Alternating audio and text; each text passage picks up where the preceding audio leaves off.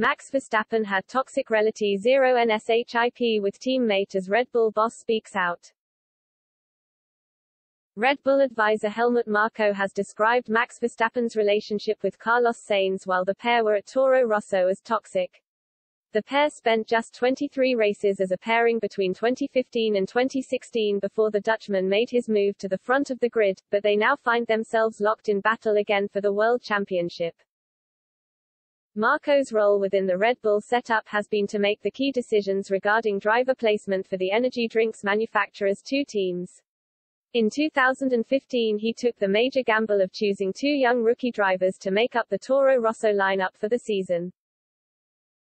The risk was hugely beneficial in the case of Verstappen with the then 17-year-old excelling across the season with two fourth-place finishes in Hungary and the USA being two standout moments.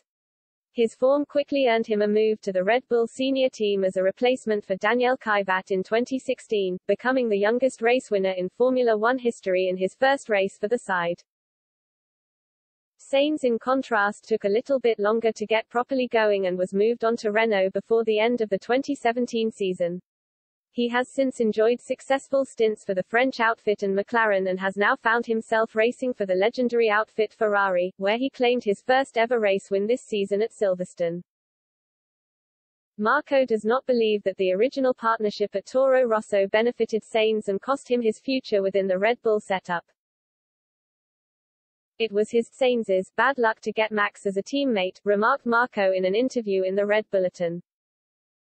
The atmosphere between the two at Toro Rosso was quite toxic. In the setup we had at the time, I couldn't see a way of keeping him with us and so he moved to Renault, McLaren and now Ferrari. Sainz's path to the senior team was blocked by the expectation that Daniel Ricciardo would partner Verstappen for the long term. However, the Australian decided to move on at the end of the 2018 season for Renault, ironically replacing the Spaniard. Marko's previous experience with the toxic atmosphere between the two suggests that Sainz would never have been a consideration to replace the outgoing Ricciardo.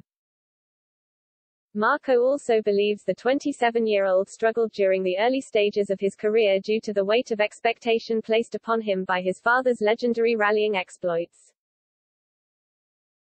For a long time, he lived in the shadow of his father, the two-time World Rally champion, Marko explained.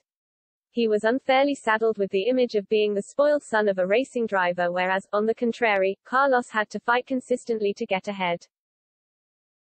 Sainz will take heart from the fact he still managed to reach the top of the sport despite taking a longer route than Verstappen. His focus will continue to be on winning the WDC for himself and helping Ferrari win the Constructors' Championship when the Formula One circus rolls into France next weekend.